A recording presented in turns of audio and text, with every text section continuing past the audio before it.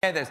Anyway, uh, we found the weirdest gift today. It's it's a or the perfect gift. or the the perfect gift. I'm, su- I'm surprised Victoria's Secrets does not have this. This is for it's called the wine rack.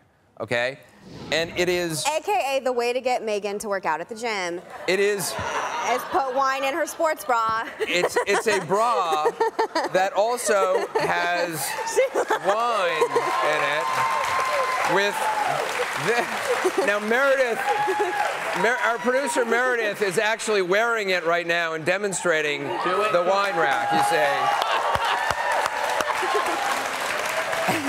It's like a CamelBak for cool people. it's a CamelBak yes.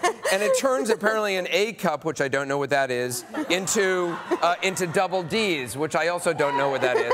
But but uh, I do know what that is. yeah but look at this. It's basically got these wi- breast-shaped wine Mm. pouches I love everything about this. everything about this. I'm taking this with me when I leave. Yeah. Literally. This is how to get me to do yoga. This. Put this in here. get drunk at the gym. And I guess it's if also I guess if you know when the bar stops serving at two or four, or in England, at England. midnight, this would be perfect.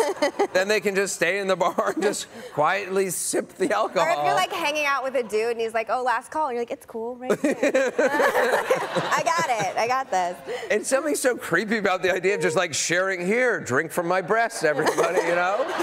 Something So, are you gonna pimp where people can buy the wine, the wine bra wine. rack? uh, I guess. Let's see. Where does see? Um, it's twenty nine ninety five. It uh, it holds twenty five ounces, which is the same as a bottle of wine.